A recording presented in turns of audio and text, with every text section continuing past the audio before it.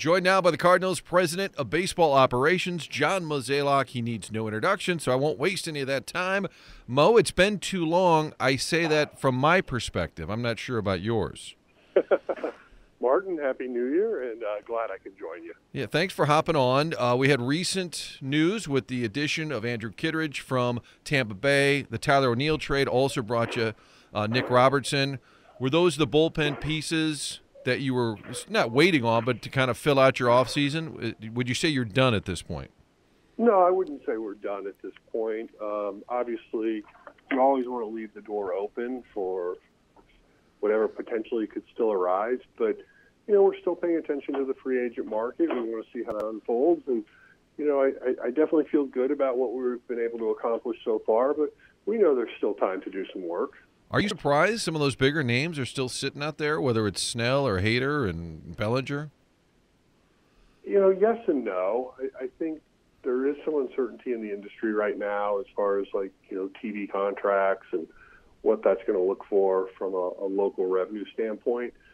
But you know, I also think you know as you look at the modernization of free agency, I, I do think people aren't necessarily you know chasing a clock, if you will. Um, you know, a lot of people just sort of think about the off season and, and, and the conclusion of winter meetings as if you know that usually wraps up most of the big signs, but I think in you know recent history that shows that that's not always true. Obviously, there were some big names that went off the board, um, and Ohtani, to name a few. But like, you know, overall, I think people are still just sort of like trying to assess where they are in the market, and you know, obviously these guys will all sign before we get today.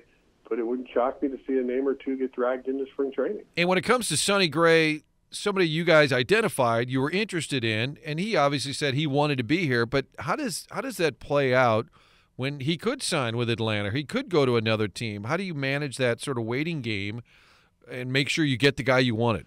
Well, I think in our case we weren't waiting. Um, you know, you think back to Thanksgiving, and that was really the time frame that a lot of our signings happened, and, and part of that was because you know all three pitchers we signed, including Sonny, all had a lot of interest in trying to do something here.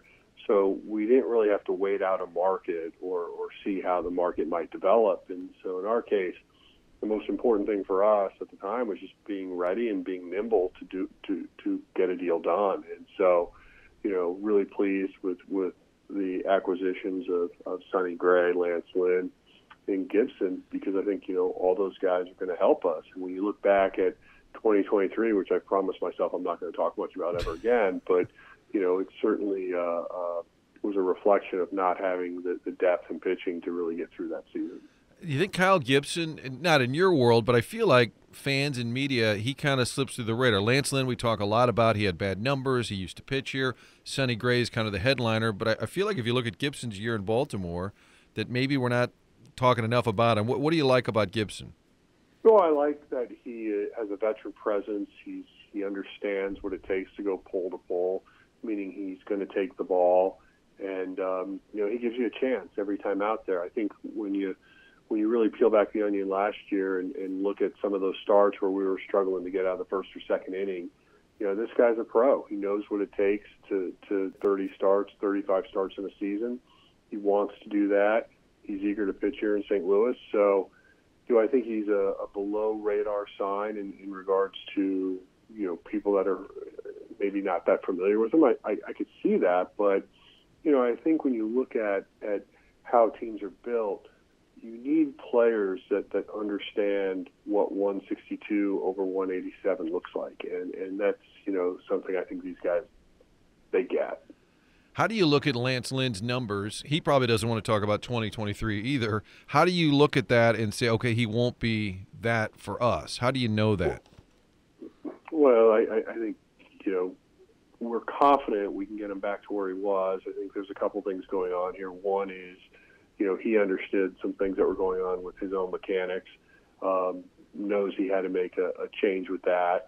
And then I think, you know, sitting down with our pitching coach, having him spend time studying his video and, and you know, from an analytical slant as well. But there's some things we think we can do to help him, and you know, hopefully we can uh, get him to where he once was. But you know, performance aside, this guy's a competitor.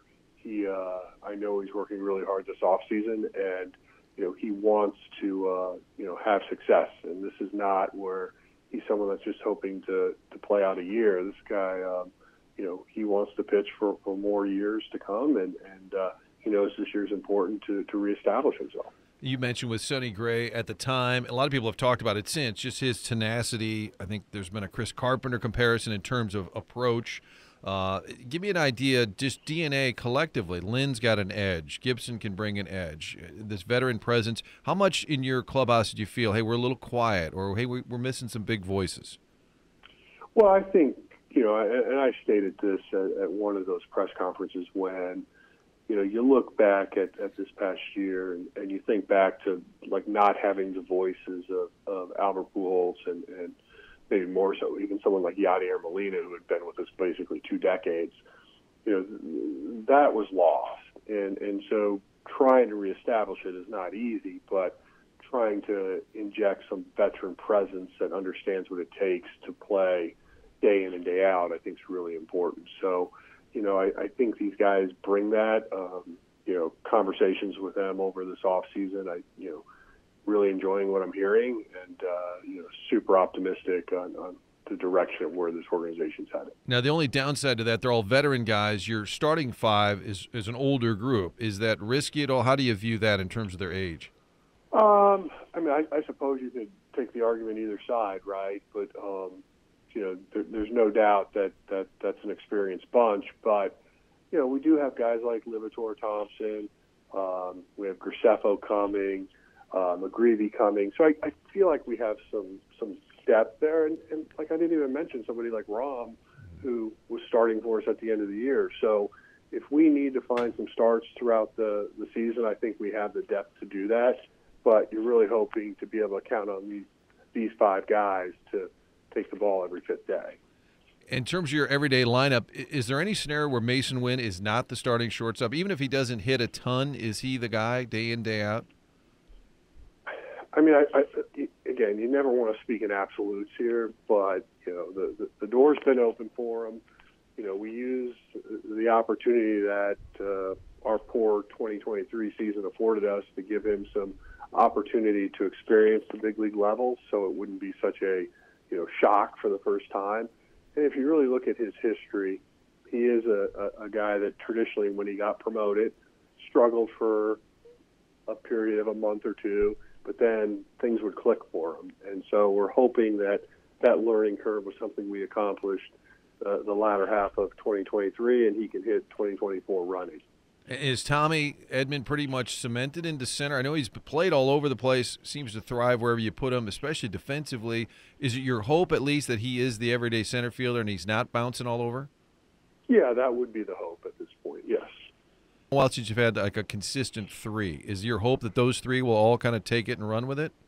Well, you hope so. And then, you know, Dylan Carlson is also someone that's going to be like fighting for at bats. So, you know, he's having a pretty good off season.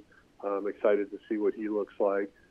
You know, the, we have some depth here, and it's really going to come out to you know see how guys perform and, and how they utilize training is going to be fun to watch. And you know, I, I do like the idea that there is a, a, a competitive element in our camp. You know, last year was a lot different for us because we had so many guys in the WBC. It, it felt more like where we were just like getting to see younger players go, but it didn't feel like everybody was necessarily having to fight for jobs because we knew veterans were going to come back in. And I think you know not guaranteeing playing time is not the worst thing in the world. Um, I think on paper, using a pencil, we can definitely write a lineup. But I do think spring training is going to have some value for us this year. It seems to me, based on the offseason, the way you guys have approached it, yes, you needed to add pitching. Everyone knew that.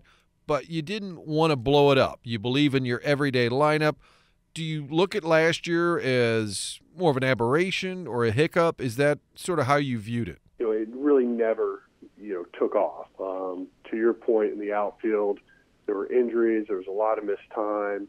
Um, that group just never really got going. And uh, you know, we do believe in this group. Obviously, we made a trade to make sure we could create some some regular playing time for for the group mentioned you know, we we do think it's a, a good. We'll be together for a while. I feel like you know, our infield last year. Um, you know, we we tried to navigate through injuries as well, and, and you know, having somebody like a Brendan Donovan for a full season is something that's really going to help this club. So, you know, there's some things that that we believe will will make us look different will feel different, and uh, we, you know expectations are still very high as we go into 2024. How much do you monitor the division and what other teams are doing? You're obviously aware, but does that ever impact what you guys do? Um, not really. I mean, we set out. We try to build a club that we think can get us to October, and and then the plan is is when we get to October, take our best shot. But you know, understanding what's happening in our division, obviously, you look back to last year. I think that gives you a little bit of a teaser of what's to come in terms of you know Cincinnati and and Pittsburgh are, have a young core building around it. Um, you know, you look at the Cubs; they're still actively in the market, and uh, you know Milwaukee will be something that that'll be of a different interest just because their manager's left. He's now in Chicago, and and see how that comes together. They're dealing with some injuries, but you know they're excited about their everyday club. So the bottom line is you always play the game, and you know that's going to determine the outcome. You added Chaim Bloom, who is with the Red Sox, with the Rays, somebody I know that you've known for a while. Explain to folks his role. I think some people maybe thought it was more of a full time gig. Explain to everyone what he'll do. No, it's really more of an advisory role. Um, you know, I, I personally feel like, you know, my, the group I work with day in and day out, we've been together a long time, and I'm not accusing us of being stale. I'm not accusing us of, of not being open minded, but having a fresh set of eyes come in and, and give us his thoughts on, on, on really where we are. And, and, you know, he's well calibrated because he, he has been recently with two clubs and two clubs that are really on sort of, you know, polar ends of the spectrum in terms of, you know, a smaller market and a larger market. So, you know, I just want to have a better sense of, of how we should be setting ourselves up for the future and what that looks like. And I think he'll be a, a, breath of fresh air for that. Do you feel personally challenged to get this right? You know, for and there's plenty of critics out there. I don't know how aware you are. You always tend to have a little bit of a sense of what the noise is. Do, do you feel any personal pressure, hey, to turn this thing back around and, and how it reflects on you? You know, I get that question a lot. Um, I, I I answer it the same way. I mean, there's always pressure in this job. I mean, that's the nature of it. Um, you know, obviously last year didn't go as planned by any measure, and you know, I think as a group we know it's important to, to get ourselves back to to where our fan base is proud of what we're putting out there. But the one thing I've learned over you know over 30 years in this league, it's it's hard to always make people happy. Um, you know, at the end of the year, only one one group gets to raise that trophy, and it's it's tough. I mean, that's the the why people work in this business because they they enjoy the competitiveness and the competitive nature of it. But you know, when when you don't perform, when you don't meet expectations, uh, you know, it can be it can be noisy, it can be loud, and it can be hurtful. But you know, you can't let that distract you from what you need to do to to try to get things right. And you went on record last year. I think we had talked at one point. Hey, Oli's not going anywhere. He's our manager. Does Mr. DeWitt? Does Bill ever say, "Mo, don't worry about the noise," or "You're my guy"? Does he, does he ever have to do that? Not really. Um, you know, Bill and I have been together a long time.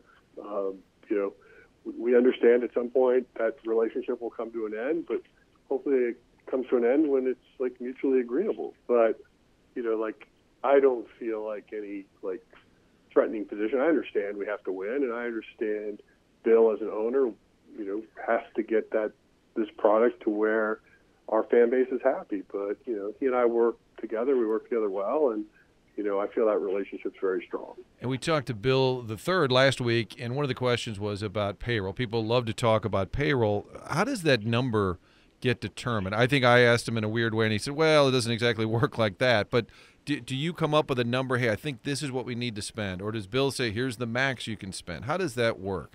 Yeah, it really works more like it's understanding what your revenues and your expenses are going to look like, and then we we sort of backfill in for what the payroll will be.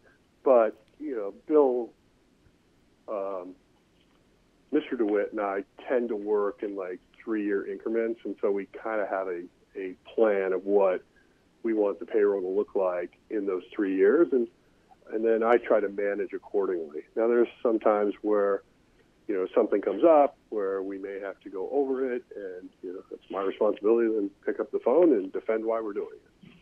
And do you ever kick the tires, even on a big ticket, whether it's Ohtani or others, just to see, or is there any value? I mean, would you ever? Do you kick the tires on some of the bigger ticket items just to see if there's a fit? Well, some of this is relationship based, right? And, and so, you know, depending on who the agent is, of course, I might be in contact with with them, understanding where that market may or may not be heading. Um, so, to answer your question is, you're, you're almost touching base on everything. Um, I feel like that's my responsibility, and so I try to do that on, on just about everything. You know, there's obviously some things that we have zero interest in, so I'm not going to do that. And the Yadier Molina topic finally got resolved, answered. We know his role.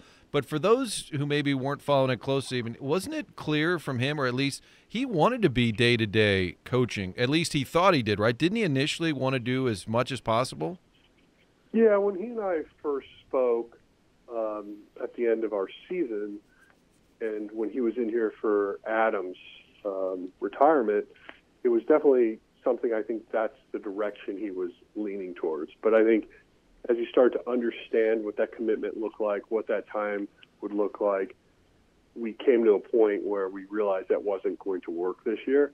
And look, I'm much happier that it ended that way um, because then we can manage it accordingly. Whereas I didn't want to get down the road and have something that happened to us like a year ago with with Maddie Holliday. So it's it's always tough because you know a lot of these guys are trying to balance their family and what their future careers might look like, and um, you know we try to paint as clear as picture as possible of what the day to day looks like because I don't think players always know what it's like when they sit in the coach's chair because it is a, a much different schedule than what a player's used to and he could come into town for a homestand, be in uniform, right? Not during the game, but pre-game, and, and be around. Actually, actually, now he is. Uh, you are able to put coaches, um, even visiting coaches, in uniform if you want, because uh, they've they've kind of opened up the bench, and Major League Baseball just got sick of policing who could be on and who couldn't.